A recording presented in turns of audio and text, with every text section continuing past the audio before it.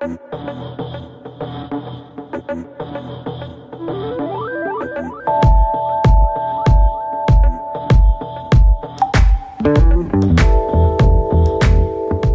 戸市出身です。11月30日生まれの伊手座です。好きな色は黒色と緑色です。黒は何にも染まらん感じが好きで緑色は自然の多いところで育ったので緑が好きだなって思います。好きな言葉は自分を信じるです。たくさんの情報や選択肢が人生の中ではあるので常に自分を信じて面白い選択をしながら生きていきたいと思っています。恋愛観は一言で言うとすごいめんどくさい人間で好きになると好きってなるんですごい尽くしたり勝手に落ち込んだり勝手に盛り上がったりして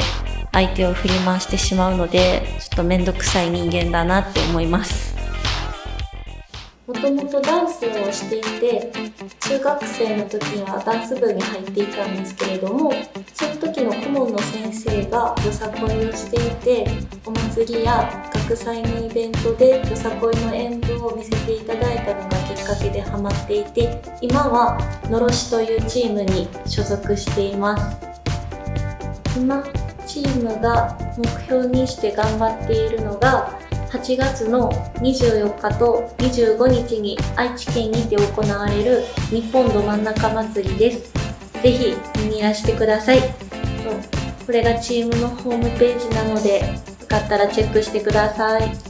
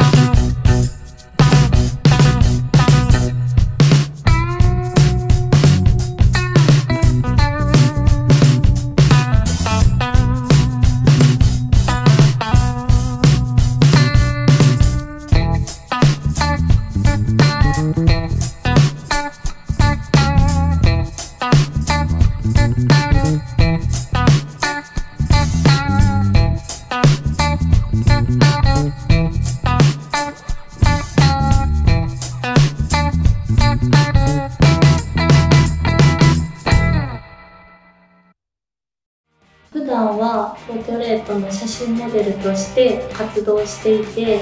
動画と写真は全く違うなと思ってちょっと緊張したんですけどいい経験でした。動画と写真の違いは普段の写真モデルではそのシャッター音だったりだとかそういう光だったりだとかそういうのをすごく意識してポージングや目線を変えたりするんですけれども動画は常に撮られているので、カメラを意識しすぎないように意識するのが違いだなと感じました。2016年から神戸電鉄親善大使として活動しているので神戸電鉄や地元や美少女図鑑を PR できる機会としてそういった活動もしていけたらいいなと思っています。